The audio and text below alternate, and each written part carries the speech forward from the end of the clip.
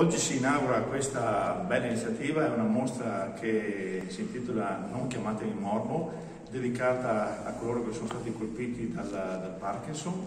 È una mostra itinerante che viaggia tutta l'Italia, tocca parecchi capoluoghi di provincia e quest'anno abbiamo avuto anche il privilegio che tocchi anche il nostro paese. Rimarrà aperta da oggi domenica eh, 30 fino a sabato 12. È una mostra itinerante, parlante, fotografica, dove attraverso 40 immagini e attraverso un QR si possono rilevare tutte le storie raccontate da Claudio Visio e Lela Costa e sono esperienze che riguardano ragazzi giovani ma anche anziani, commercianti, qualche cantante, anche qualche, mm, qualche, qualche bravo, qualche imprenditore. Ecco e Lorenzo, che è stato nostro compaesano, per 26 anni è vissuto a Costa, ha fatto un'impresa incredibile qualche mese fa ed è stato anche accolto dal, dal Papa. Questa storia, che adesso magari brevemente vi dirà, stata, sarà poi anche rappresentata in un'immagine che sarà anche questa itinerante eh, dai prossimi settimane in giro per tutta l'Italia. Devo ringraziare la Regione Veneto, la provincia di Rovigo e tutto il Consiglio Comunale di Costa, l'Associazione Confederazione Italiana Parkinson, ovviamente Lorenzo e la sua famiglia per averci privilegiato di questa bella iniziativa.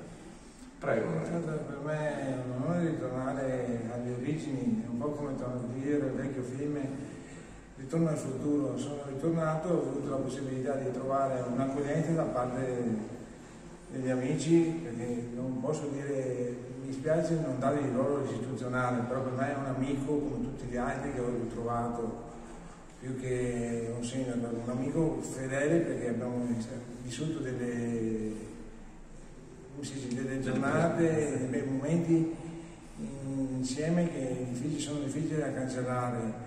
E oggi mi ha dato la, poss la possibilità attraverso questa mostra fotografica di fare vedere altre persone che soffrono lo stigma della, del Parkinson, eh, ma non solo le persone ammalate di Parkinson, questa mostra vuole anche toccare quelle persone che non sono ammalate di Parkinson, ma che vivono il dramma della solitudine lasciata da una volta dai familiari perché non riescono a condividere la malattia, quindi al dramma si unisce la solitudine dell'abbandono.